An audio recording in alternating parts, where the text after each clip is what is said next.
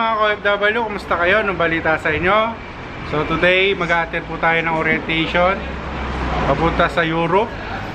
So sa tagal na hinahanap ko to, nandito rin, nakita ko rin. So ito yung entrance. So kung makikita yan. Ito yung building.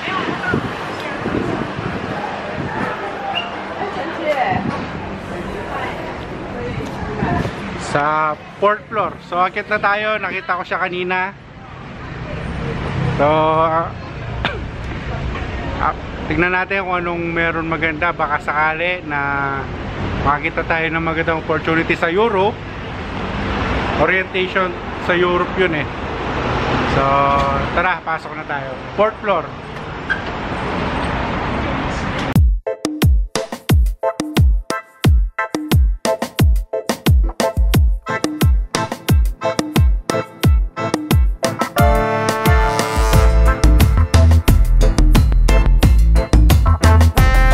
Guys, dito yung gaganapin yung orientation.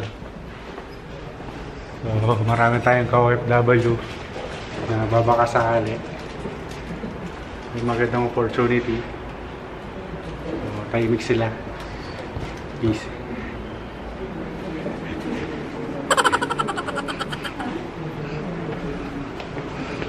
Bukas, bukas dun sa Miss Sancho may deliver. Yung Independence Fan Ride. Anong gaganapin? Oo, sa may Sanchong MRT. Market? Yung sa uh, Metropolitan Park.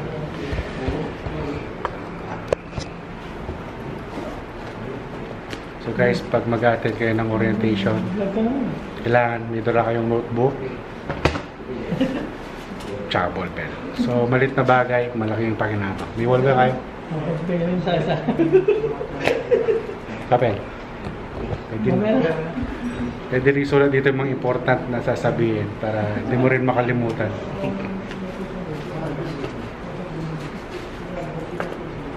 So, sige, mamaya na lang. Sa... Update ko na lang kung ano meron. Okay? Yung mga iba dyan, later on po ah, pag gusto mo nga magbakasyon-bakasyon, punta kong sa kung saan ibang bansa, wala akong problema kasi kung visa ninyo is Schengen visa, you can enter to 22 countries. So, kung ako po employer, ito ba nag-a-apply ng, ng, ng trabaho o nagpapakyo? Minsan lang nga pag humingi ako ng picture lang yung mga pinapasend. Ako sa kasan, sa ganun po talaga. O, hihingin ko ano lang, yung passport size photo lang, hindi talagang yung pa-pogi boys. Kasi po kung pa-pogi boys, naiinis po ako doon. At saka po ito po electric forklift po, um, when you reach Poland, you ha- have to um, take the UPD. Yung U2, UPD parang something eh, nakalimutan ko nandun yung description. Ah, hindi ko ma-pronounce kasi po nasa lingwahe nila. Ah, yung UPD na yun po, yung parang universal driver's license po natin. So, kapag po nandun na kayo, kukuha po kayo ng examination.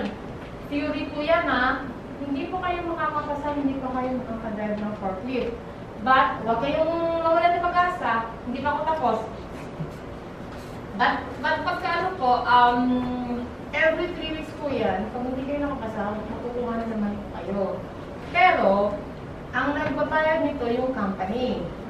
Dito po, sa from here to here, pag nagkuha po doon ng physical exam ay, ah, ano yun, ah, actual na examination, ayun po magbabayad.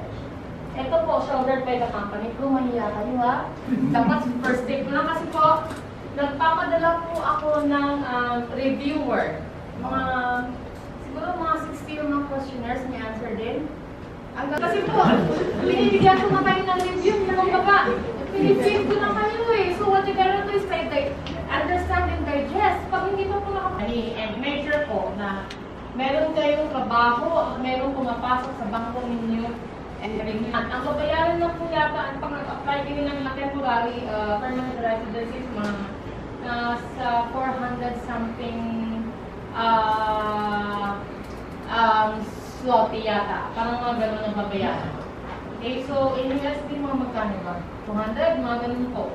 Pero worth it naman po kasi yung first issue ng temporary residency, one year agad. So ibig sabihin po, pag may ganun na kayo, hindi na kayo mahihirapan ng kuha ng permanent. maybe after a year. Why wait for five years if we can do it within a year?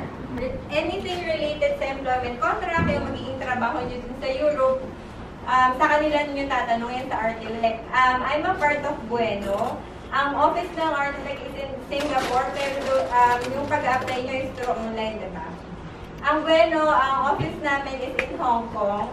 We are partner um, visa center of Artilec. So let's say for example, na-hire na kayo, nakapagbayad na kayo ng down payment, and ready na kayong umalis, i-process yung papers nyo. So yun yun na yung time na hahawakan ko na yung um, yung process ninyo. So ako na yung responsible sa process ninyo. So, um, path to your destination, kung saan kayo pupunta, let's say Czech Republic o kaya Poland.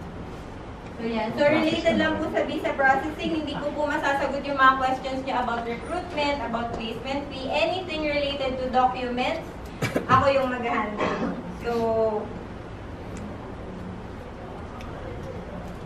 Okay, so let's start for Poland. So na, yung dalawang main countries sa Europe na na-discuss ni Ate Ligaya kanina is Poland and Czech Republic, no?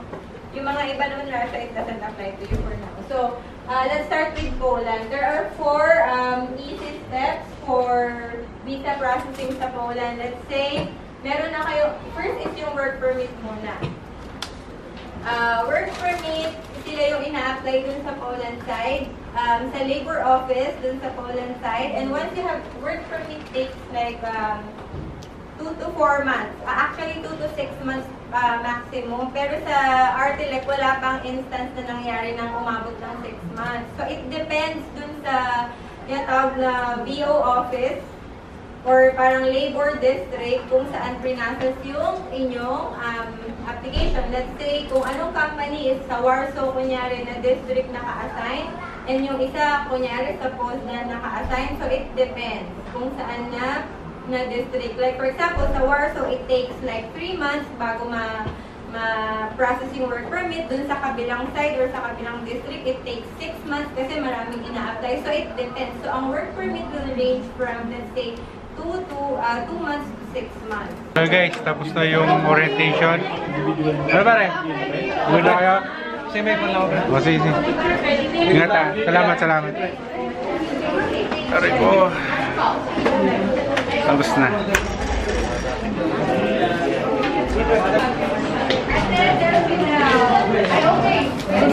Excuse me.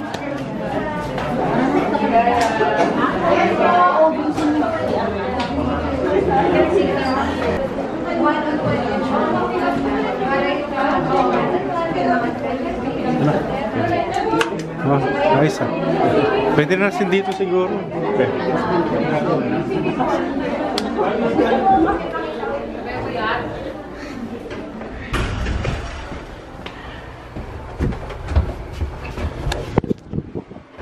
Guys, tapos sa orientation. May natutunan ako ang mahal ng placement. So yun mga ka-OFW. So yung inatenan natin, ano rin siya, ah, recruitment recruitment agency, kumukuha siya ng mga Pilipino, mga OFW para magtrabaho sa Europe, sa Poland o sa Czech, Czech Republic. So, yun nga, kasamang palad, wala tayong, hindi, hindi siya covered ng mga job vacancy nila. hindi siya covered ng skill ko. Meron siya doon sana yung upholstery, kaya lang hindi ako gaano familiar sa upholstery. Sa machine operator naman, sa forklift, di rin ako masyado familiarize sa forklift. At maraming exam sa forklift eh, medyo risky yun para sa akin. Tsaka isa pang mahal doon na napansin ko eh yung placement fee. Ang mahal po. Grabe. Bali ang sinisingil po nila ah, uh, 100 25,000 NT dollar to 150,000. Depende po yun doon sa trabaho na ina-applyan mo. So yung pinaka-minimum nila is 125,000. Tapos yung sweldo naman, uh, minimum na sinasabi nila is 1,500 ah, per month.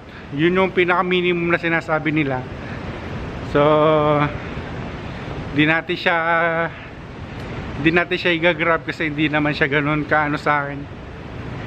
Dahil di naman siya ganun ka-capable para sa akin dahil tinry ko lang kasi baka sakali may opportunity doon na pwede ako Ah, para maiba naman, di ba? Tsaka patapos na rin ako rito, malapit na rin ako mag-retire dito sa Taiwan. Tinry ko lang. So yun guys, siguro hanggang dito na lang muna sa ngayon. Hapon na, 5.30 na. Kanina dumating ako doon alauna. Tagal ng orientation. O siguro guys, hanggang dito na lang. Maraming maraming salamat sa hapon na to. At kung bago ka lang sa channel ko at ngayon lang tayo nagkita, mag-subscribe ka na para malaman mo ang reality ng buhay ng mga OFW dito sa Taiwan. Bye-bye!